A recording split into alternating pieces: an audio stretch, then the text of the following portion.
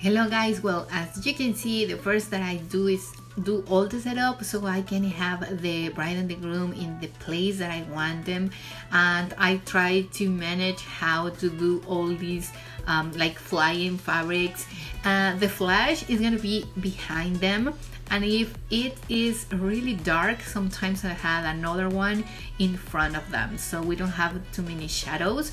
But if it's not so dark so many times I try to do it just with with one backlight.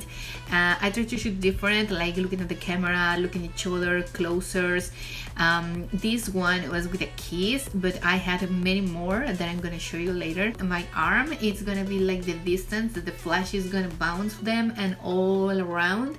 And if I want them to have like more dramatic skies or things like that my flash is to be probably 1 slash 18 or 1 slash 24 but if I wanted uh, maybe just one and to bright everything around. 1 um, slash 4 so it's like brighter and my ISO is not so high actually it's around 200 or less. I do white so I have all these dramatic skies and the and the and the fabrics uh, blowing away with the lighting with the backlighting. You can do it with the dress you can do it with the veil you can do it with some other fabrics or elements around that this is gonna be and help you to get more dramatic pictures. So i hope you like it and i hope to see you soon.